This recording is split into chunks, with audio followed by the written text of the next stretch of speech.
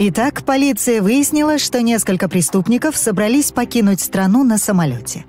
К сожалению, никто не знает, как они выглядят и сколько их на самом деле. Было задержано четверо подозрительных мужчин, и их багаж был тщательно осмотрен. Можете ли вы выяснить, кто из них невиновен?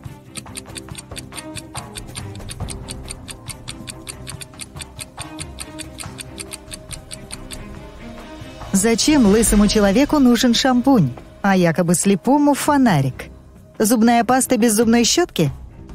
Кажется, только человек слева не преступник. Энн пригласила своих друзей отдохнуть неделю в ее доме. Молодые люди отлично проводили время. За день до отъезда началась страшная буря, и пошел проливной дождь. Сильный ветер поломал деревья, разрушил линии электропередач. Повсюду начались перебои с электричеством. На следующее утро погода улучшилась, но Энн обнаружила, что ее любимое кольцо с бриллиантом, которое много лет назад ей оставила бабушка, пропало. Она пригласила всех своих друзей в гостиную. «Я не могу найти одну вещь, которая очень важна для меня. Не могли бы вы рассказать мне, что вы делали вчера?» Меган ответила, что большую часть дня провела в своей комнате и читала. Уолтер сказал, «Я репетировал на электрогитаре в гараже.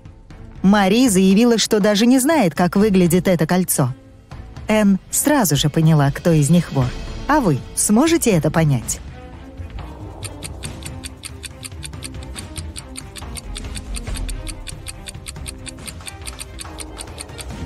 Электричества не было, а значит, Уолтер никак не мог играть на электрогитаре. И Энн ничего не говорила о том, что пропавшая важная вещь — это кольцо.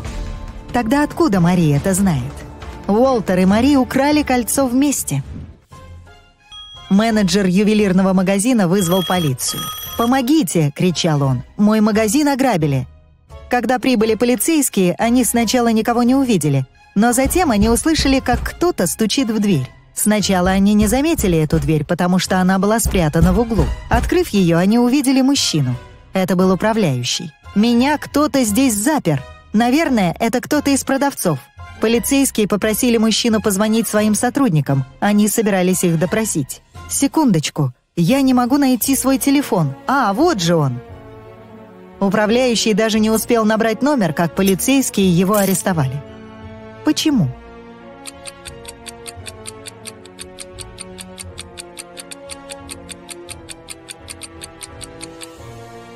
Если он был заперт в комнате, а телефон лежал на столе, как же он мог позвонить в полицию? Однажды зимним вечером по улице шел детектив полиции Томас Дэвис. Внезапно он увидел человека в черной маске, вылезающего из дома через окно с двумя большими сумками. Детектив понял, что это грабитель. Он побежал за незнакомцем, но тот, свернув за угол, исчез. Томас понял, что преступник спрятался в одном из этих домов, но вот в каком?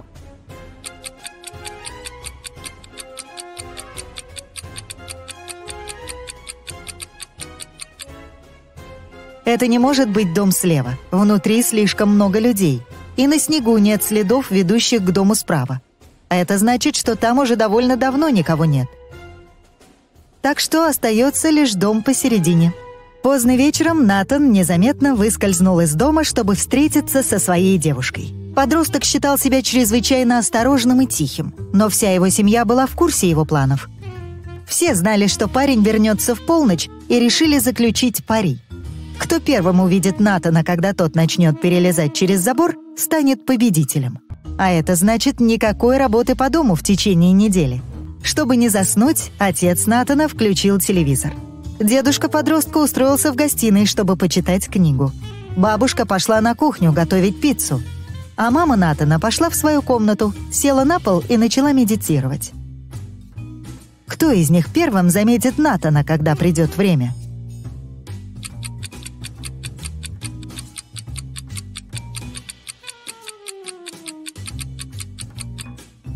Мама Натана — ее глаза привыкнут к темноте, и она будет видеть лучше, чем другие. Семья с двумя детьми-подростками отправилась на отдых к морю. Они поселились в маленьком бунгало почти на самом берегу. Сначала все шло замечательно. Но через два дня после их приезда пропал младший сын. Полиция нашла четверых подозреваемых. Они пригласили семью парня посмотреть на них. Может быть, они кого-нибудь узнают? Матери подростка достаточно было одного взгляда, чтобы понять, кто стоит за исчезновением ее сына. Кто же это?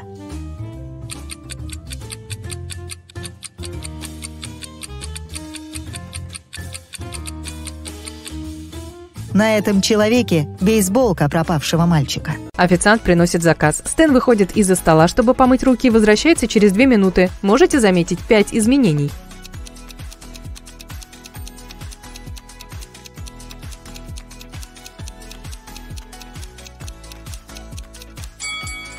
Вот они. Нина поскальзывается и падает на пол. Теперь ей нужно как можно скорее заменить сломанный фрагмент в своем теле. Стэн отводит ее в секретную лабораторию. Чтобы открыть дверь, нужно ввести трехзначный код. Он начинает искать подсказки и замечает, что они написаны на стене. Но последняя цифра стерта. Можете помочь ребятам взломать код?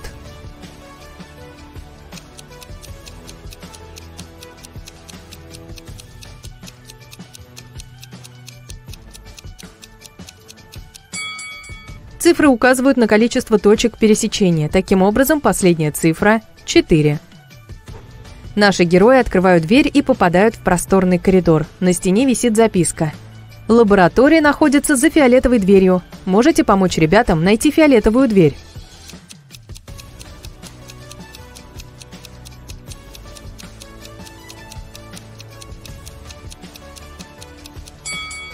Первая дверь деревянная, но на ней есть надпись и стрелка, указывающая, что фиолетовая дверь находится справа. Вторая дверь окрашена в синий и красный цвета, поэтому она не подходит. Давайте внимательнее посмотрим на третью дверь. Под слоем желтой краски есть фиолетовый цвет. Значит, ребята должны выбрать эту дверь. Нина устраивает вечеринку у себя дома и приглашает Стена. Она получает анонимное сообщение. Среди гостей есть оборотень. Вы можете найти этого человека?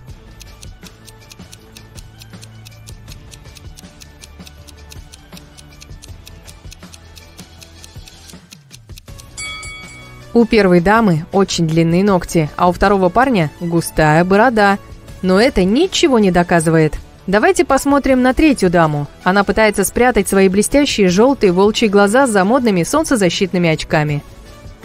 На кухне Стэн встречает трех поваров, готовящих вкусные блюда. Один из них преступник. Сможете догадаться, кто?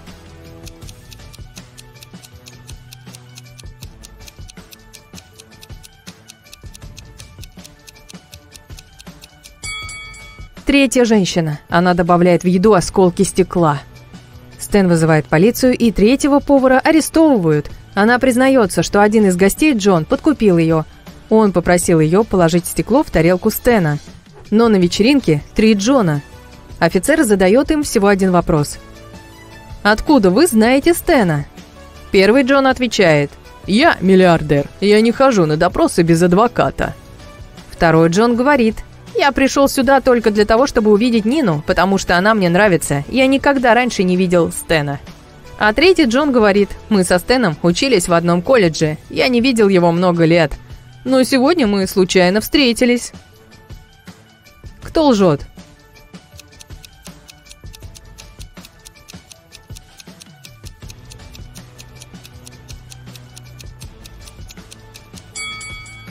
Первый Джон, на нем поддельный свитер от Гуччи. Маловероятно, что он миллиардер. На следующий день Стэн просыпается в пыльном подвале. Жутковатый голос говорит, что Стэн может пройти через одну из этих трех дверей. За первой дверью резервуар с крокодилами. За второй дверью джунгли, полные диких животных. А за третьей дверью находится гигантский синий кит. Он может легко проглотить взрослого человека. Какая дверь более или менее безопасна?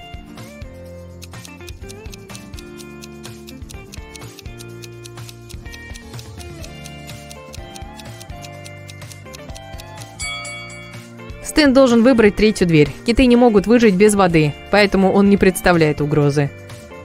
Стэн возвращается в свой офис и обнаруживает, что кто-то украл из лаборатории самый дорогой костюм супергероя. Только три человека знали об этом артефакте и имели ключ. Мия, Билли и Роуз. Стэн расспрашивает всех.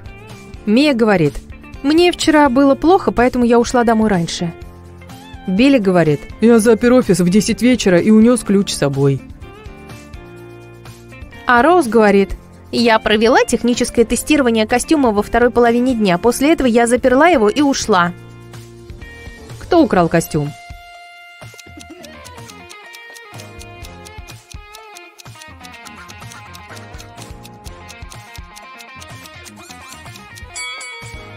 Мия, под одеждой у нее костюм супергероя.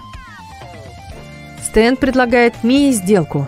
Если я напишу твой точный вес на листе бумаги, ты вернешь костюм. Мия соглашается и дает Стэну лист бумаги и ручку. Через минуту она возвращает костюм. Что сделал Стэн?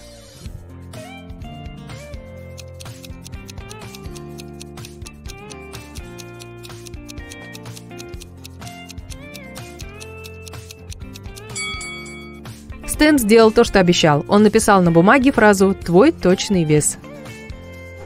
Стэну необходимо найти новых инвесторов для своего агентства. Для этого он встречается с тремя людьми, и каждый из них предлагает Стэну сделку. Мэлори говорит, «Когда-то в детстве у меня были уникальные сверхспособности, но я не стала их развивать. Теперь я стара и богата, и хочу инвестировать в вашу лабораторию, чтобы помочь таким, как я». Черри говорит, «Мои родители оставили мне миллиарды долларов, я хочу инвестировать в прогрессивные проекты». И Альфред говорит, «Слушай, я могу помочь тебе развить твое агентство, но я хочу иметь контрольный пакет акций и сам нанимать персонал». Один из них лжец. Можете угадать, кто?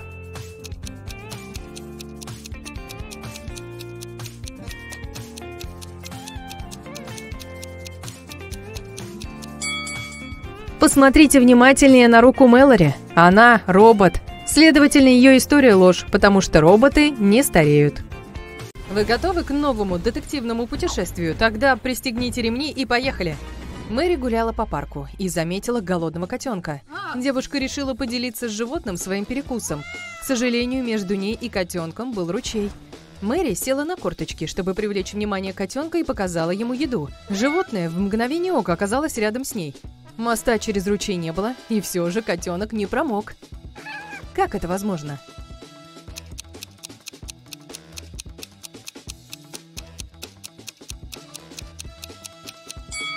Это случилось зимой, и ручей был замерзшим. В озере есть участок с кувшинками. Каждый день он увеличивается вдвое. Если для того, чтобы кувшинки покрыли все озеро, требуется 48 дней, то сколько времени потребуется, чтобы они покрыли половину озера?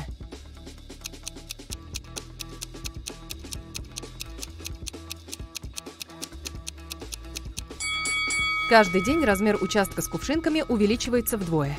Так, на 47-й день его размер будет вдвое меньше, чем на 48-й.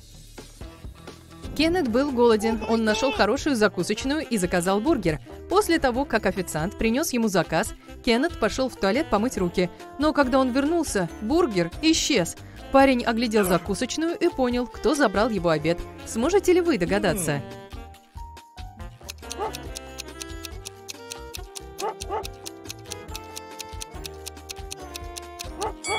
Это молодая женщина, собака которой нюхает воздух. Если бы женщина просто пила кофе, что она делает сейчас? Собака не была бы так заинтересована. Посмотрите на этих двух парней. Один большой крепкий, а другой невысокий и худой. Они пьют в кафе одинаковые напитки. Тот, что пониже ростом, выпивает свой напиток залпом и уходит. Другой мужчина медленно подтягивает напиток. Затем он падает на пол, и его увозят в больницу. Сможете объяснить, почему это произошло, если они пили одинаковые напитки?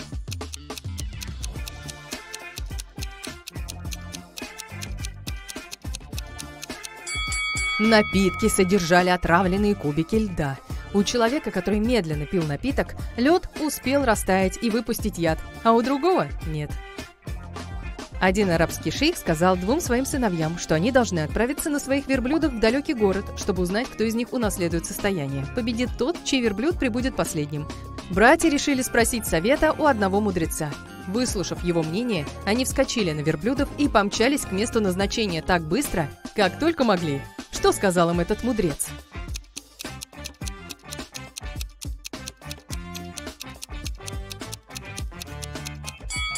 Мудрец посоветовал им поменяться верблюдами. Посмотрите на этих двух парней. Они одеты одинаково. Оба держат стаканы с кофе и, в общем, кажутся вполне обычными. Но один из них замаскированный оборотень. Который?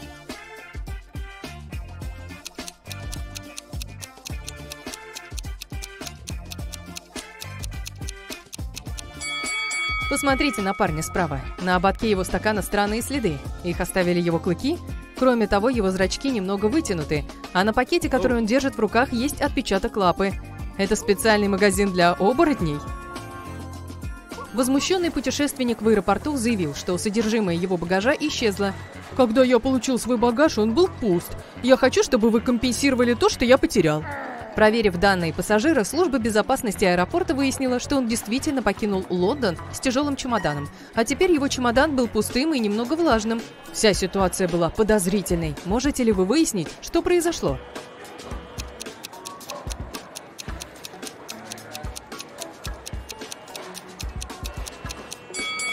Пассажир вылетел из Лондона с чемоданом, наполненным льдом. Во время полета лед растаял, и мужчина потребовал компенсации за потерянные вещи. Мэтью купил новый смартфон и чехол для телефона. Он заплатил 510 долларов. Гаджет стоил на 500 долларов больше, чем чехол. Сколько Мэтью заплатил за телефон?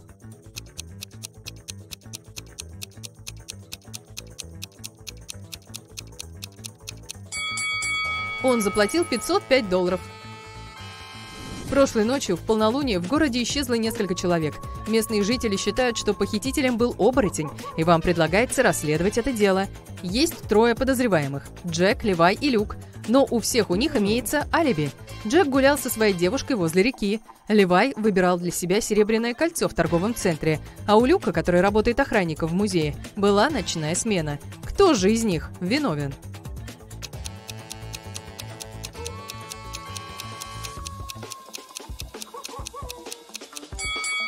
Джек гулял под полной луной и не превратился в оборотня. Левай не побоялся надеть серебряные кольца. Оборотня и потенциального похитителя зовут Люк. Помощник детектива Блэка Джош опоздал на работу. Придя на место, он рассказал своему начальнику следующую историю – я ехал по шоссе и увидел лежащего на левой стороне дороги мужчину без сознания. Я подобрал его и отвез в ближайшую больницу. Наконец он пришел в себя. Он рассказал мне, что его вытолкнули из движущегося автомобиля, но сумка со всеми его деньгами и документами осталась внутри. Детектив Блэк уличил Джоша во лжи. Как он догадался?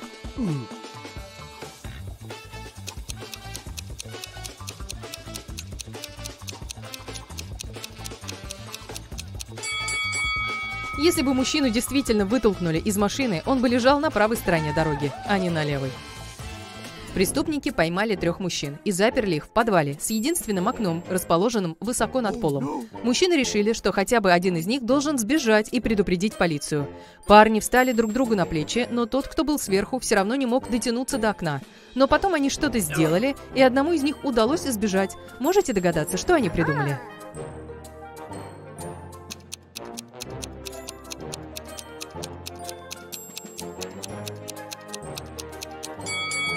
В итоге самый высокий из них забрался на самый верх. А поскольку у этого человека были и более длинные руки, ему удалось дотянуться до окна.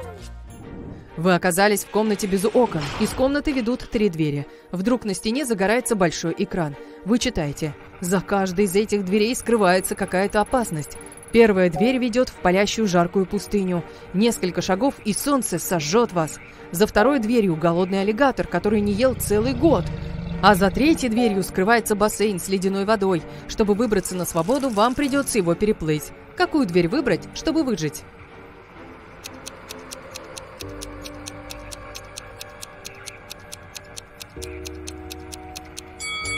Аллигаторы действительно могут обходиться без пищи до трех лет. Значит, существо за второй дверью голодно и опасно. Ледяная вода может вызвать холодный шок у неподготовленного пловца. Вот почему вам следует выбрать первую дверь. Нужно только дождаться захода солнца и пройти через пустыню. В регионе Туманных гор королевства Андолия поселился злобный дракон. Король призвал рыцаря Самуила отправиться на поиски, чтобы победить его и забрать все золото, которое он украл у людей. Итак, Самуил сел на коня и после долгого пути добрался до гор. Увидев его, дракон сказал, что если рыцарь Самуил правильно отгадает его загадки, то он вернется домой и заберет все золото. Первая из них звучала так. «Мягка и хрупка моя кожа, я расту в грязи, я опасна так же, как и красиво, и если не быть со мной осторожным, я пускаю кровь. Что я?»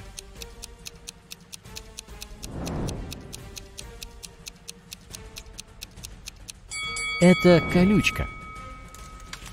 «Ты умен, рыцарь Самуил», — сказал дракон. «Вот моя вторая загадка. Я шкатулка, в которой хранятся ключи без замков, но они могут отпереть твою душу. Что я?»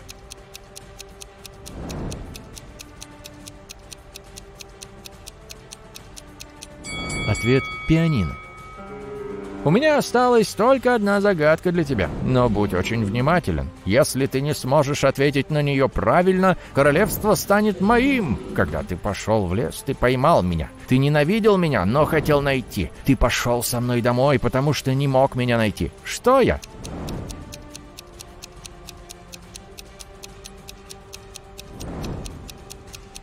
Ответ – заноза.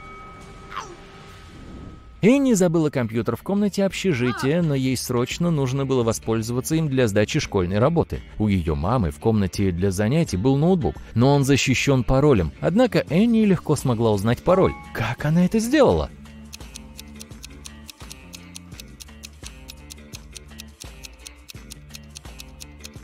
Внимательно осмотрите книжный шкаф в комнате. На боковых этикетках некоторых книг вместо названий стоят буквы. У этой книги буква A, у этой H. Еще одна H здесь. На этикетке этой книги буква I, а у этой I. Итак, пароль Энни. Профессор Гильермо был директором Академии для супергероев. Он также отвечал за проведение вступительных экзаменов. В этом году было три студента, которые успешно прошли последнюю часть экзамена. Чтобы сдать его, им всем нужно было показать профессору Гильермо свою особую силу. Сила первого студента заключалась в том, что он становился невидимым. Второй студент мог заставлять предметы летать, а третья студентка могла сгибать металл с силой мысли. Однако профессор Гильермо понял, что один из них самозванец. Кто же?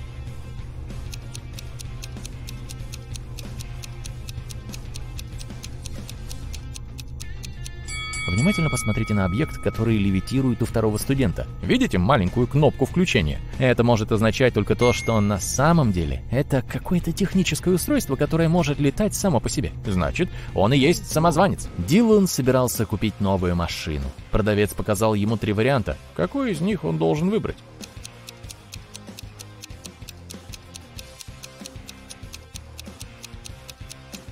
Посмотрите на боковую дверь первого автомобиля. Краска на ней потрескалась. Неразумно брать уже поврежденный автомобиль. У третьего автомобиля треснула левая шина. Так себе история. Значит, он должен выбрать вторую машину. У Кэтрин четыре дочери, и у каждой из дочерей есть брат. Сколько всего детей у Кэтрин?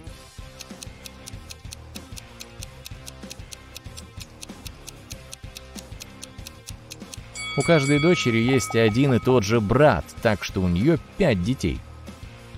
Рэйчел и Эшли были лучшими подругами, но одна из них жила в Японии, а другая в США. Рэйчел купила браслет лучшей подруги для Эшли и хотела отправить его ей по почте. Однако единственный способ убедиться, что браслет будет получен, это повесить на посылку замок. И у Рэйчел, и у Эшли были замки, но ни у одной из них не было ключей от замков друг друга. Как они могут убедиться, что браслет не будет украден?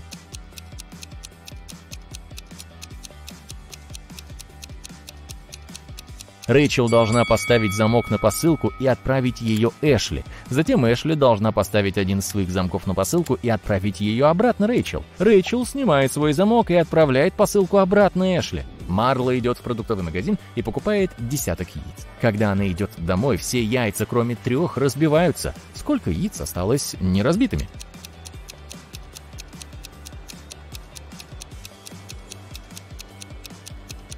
Ответ скрыт в вопросе. У нее осталось три яйца. Детектива Смита вызвали для расследования дела о краже со взломом. Мистер Брук утверждал, что кто-то проник в его дом и украл дорогие часы.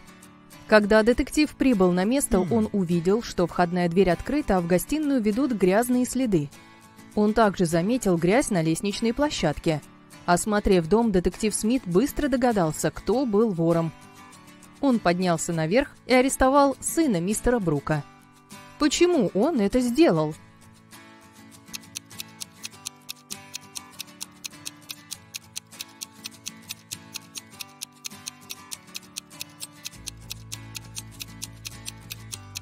Детектив заметил, что из дома не ведут следы, что говорит о том, что вор все еще находится внутри. Четверо друзей отправились на обед. Посмотрите на картинку и попробуйте угадать, кто из них самый богатый.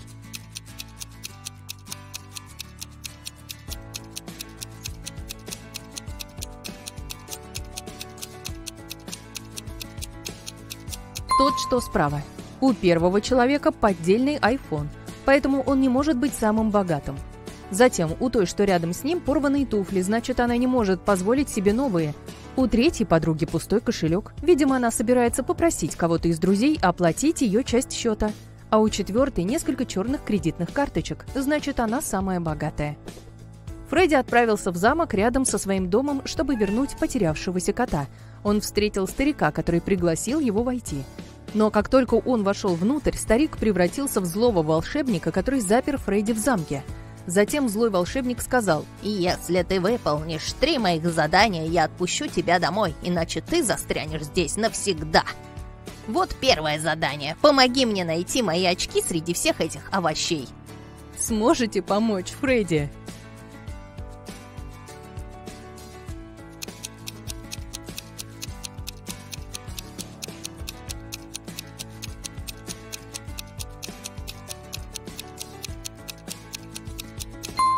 Вот они, прямо рядом с тыквой. В следующем задании Фредди должен приготовить зелье, причем ингредиенты нужно добавить в правильном порядке. Волшебник дал Фредди лист бумаги с написанным на нем рецептом. Сможете помочь Фредди приготовить зелье?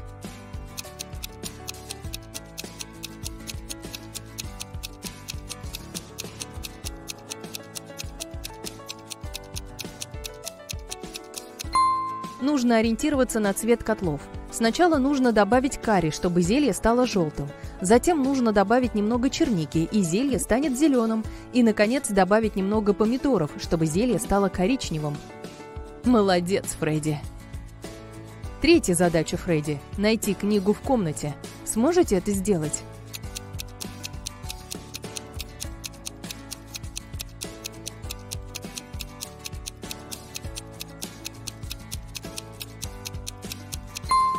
Вон там, за торшером. Поздравляю, вы только что помогли освободить Фредди. Атлас очнулся на чердаке заброшенного дома. Он попытался найти выход, но все, что ему удалось обнаружить, это комнату с тремя дверями. За каждой дверью Атласа ждала опасность. Окна и пол за первой дверью были полностью сделаны из увеличительного стекла, поэтому солнечный свет мог обжечь его, если бы он вошел. За второй дверью скрывалась комната, наполненная ядовитым газом. А за третьей дверью находился голодный лев. Что должен сделать Атлас, чтобы спастись?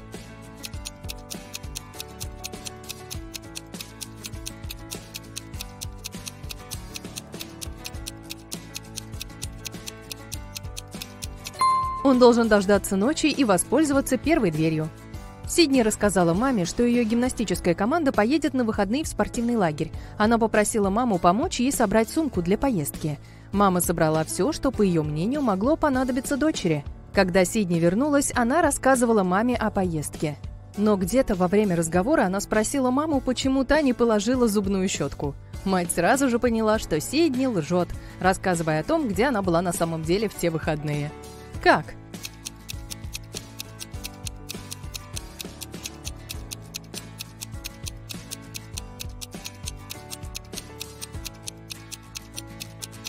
Мама Сидни действительно упаковала зубную щетку, но она положила ее под гимнастическую одежду Сидни. Если бы Сидни действительно поехала в этот лагерь, она бы воспользовалась этой одеждой и нашла зубную щетку.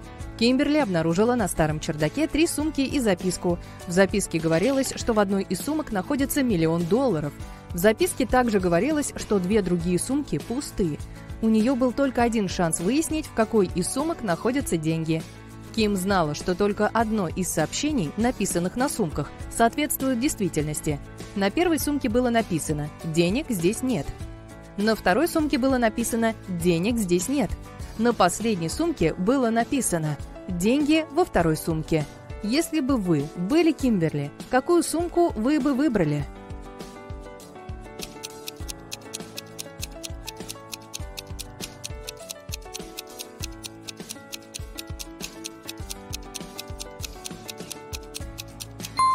Вы должны выбрать первую сумку. Если хотя бы одна из подсказок верна, то деньги находятся в первой сумке.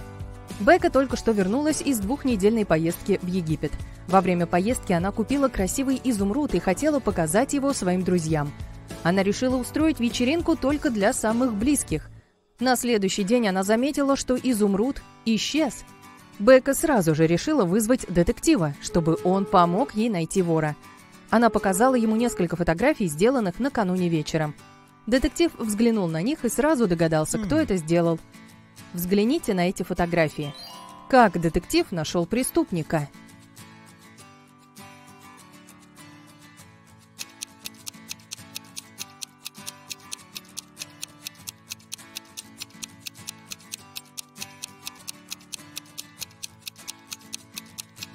Посмотрите на девушку в шляпе. В час ночи ее шляпа плоская.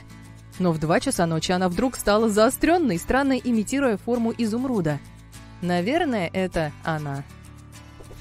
Дождливым вечером Дилан возвращается домой на машине. Он проезжает мимо автобусной остановки, где три человека просят их подвести. У Дилана есть только одно место в машине, но он очень хочет помочь всем этим людям. Среди них есть старушка, которая выглядит очень замерзшей. Есть доктор, который утверждает, что ему нужно срочно попасть в больницу. И девушка, в которую Дилан влюблен. Как Дилан может помочь всем?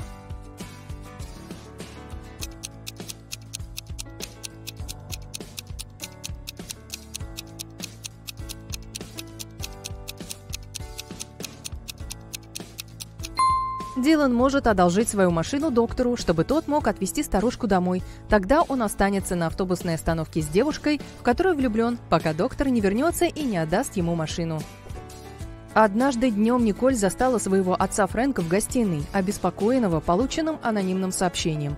Фрэнк работал частным детективом и только что получил сообщение, в котором сообщался адрес самого опасного преступника города – Грязного Джека. Он решил проверить этот район, хотя и не знал, как выглядит преступник. Адрес оказался старым складом, и, ворвавшись внутрь, Фрэнк обнаружил четырех человек, сидящих за столом и играющих в покер.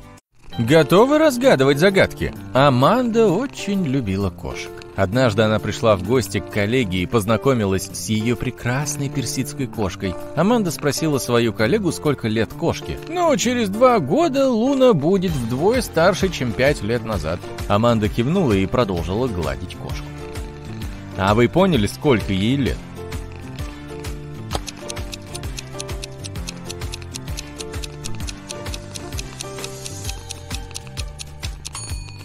Луне 12 лет. Солидная кошка. Посмотрите на этих трех друзей. Похоже, они попали в ловушку. Они висят в воздухе вниз головой со связанными ногами. На земле под головой блондинки несколько ядовитых змей. Под головой девушки с рыжими волосами горит огонь. А на земле под парнем ползают скорпионы. Как ребята могут спастись?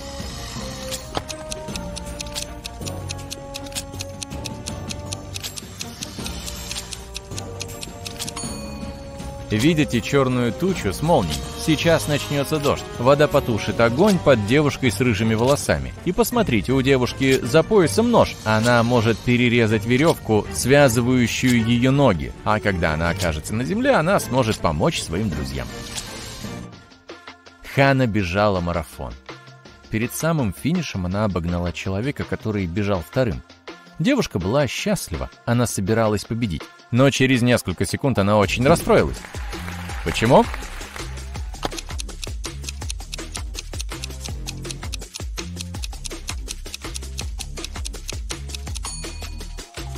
Ханна финишировала второй.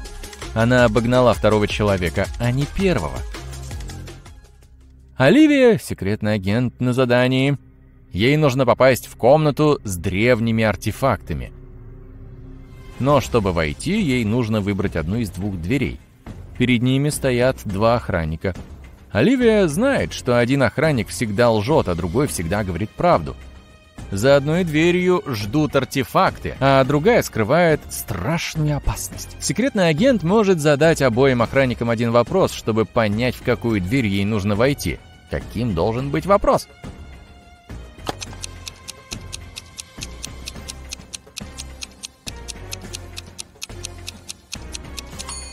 Оливия должна спросить. Если бы я спросила другого охранника, какую дверь безопасно открывать, что бы он ответил? Оба охранника укажут на дверь, за которой скрывается опасность. Лживый охранник, потому что он всегда лжет. А охранник, который говорит правду, потому что именно это сказал бы Оливии лживый охранник. Значит, женщине нужно просто открыть другую дверь. Лайза работала ассистентом преподавателя в колледже. Однажды ей пришлось присматривать за группой студентов, которые сдавали письменный экзамен. Лайза знала, что некоторые из них собираются списывать. И действительно, вскоре после начала экзамена девушка заметила одного человека, который списывал. Кто это?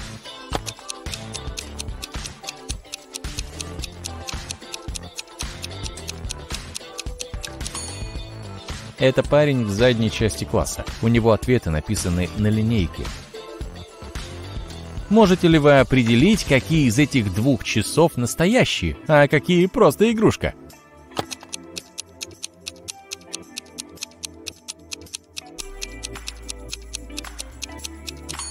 Часы слева — это игрушка. Посмотрите на минутную стрелку. Она слишком длинная и не сможет пройти весь путь по циферблату.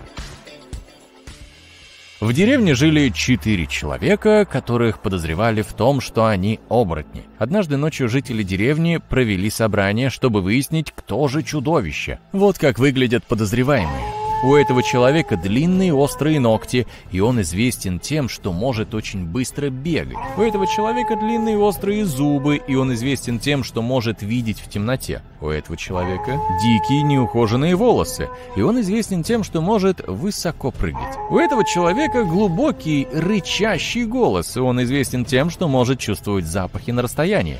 Можете сказать, кто из них оборотень?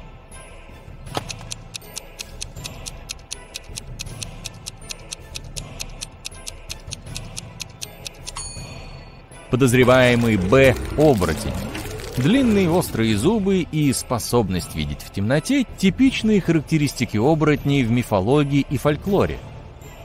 Хотя у других подозреваемых тоже есть характерные черты, это не значит, что они оборотни. Посмотрите на эту странную свадьбу. Как вы думаете, почему люди, которые собираются пожениться, носят черные балаклавы?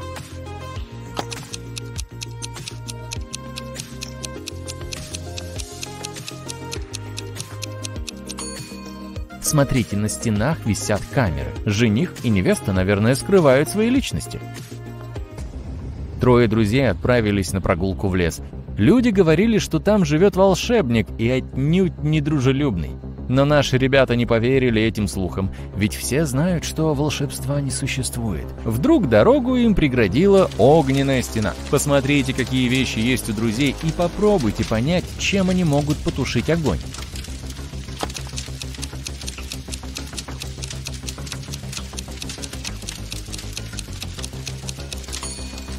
Они могут использовать ведро, чтобы принести воды из лужи, но этого будет недостаточно, чтобы потушить такое большое пламя. Шланг бесполезен, его не к чему прикрепить. Друзья должны выбрать эту лопату и потушить огонь землей.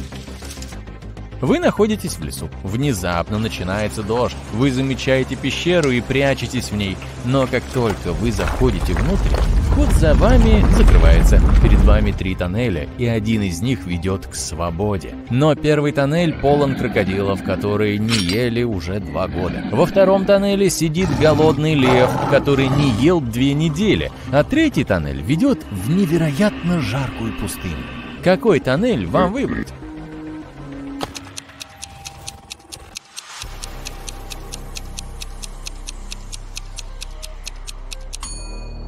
Вам следует дождаться ночного похолодания в пустыне и пройти по третьему тоннелю.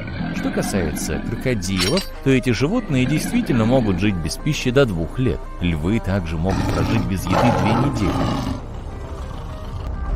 Но прежде чем вы успеваете покинуть пещеру, вы слышите оглушительный шум. Это обвал. Тоннели заблокированы, но теперь вы видите три других прохода. Огнедышащий, подождите, это дракон? Охраняет первый проход. Второй заполнен сотнями растущих там ядовитых кактусов. Их шипы покрыты чрезвычайно ядовитым веществом. А в третьем тоннеле можно увидеть красные глаза очень голодных волков. Какой из тоннелей приведет вас на свободу?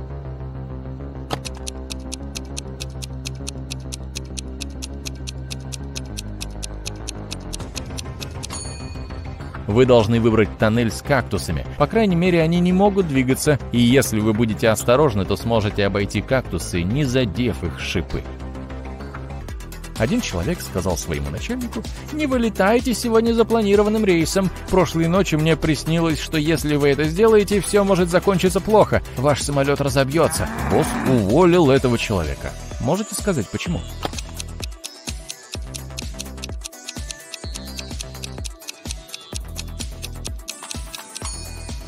Этот человек был ночным сторожем. Он должен был дежурить ночью, а не смотреть сны. Один человек совершил кругосветное путешествие на корабле, и все это время он видел Землю. Как это возможно?